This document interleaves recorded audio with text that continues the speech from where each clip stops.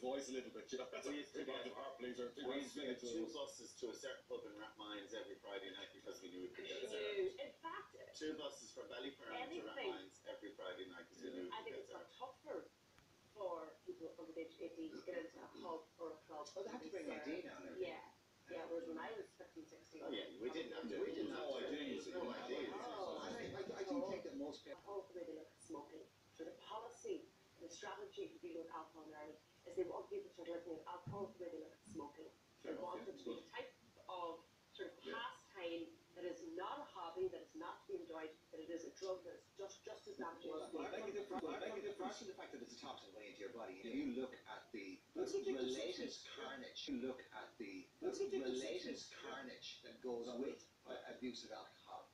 Far outweighs anything that, that uh, does. Would it, be, uh, Be Try and be responsible. Be, be sensible. Yeah. water. Right. Uh, how did you deal with this topic with your children? We'd love to hear uh, what you did. Here's how you get in touch. There, we have put hard facts that the number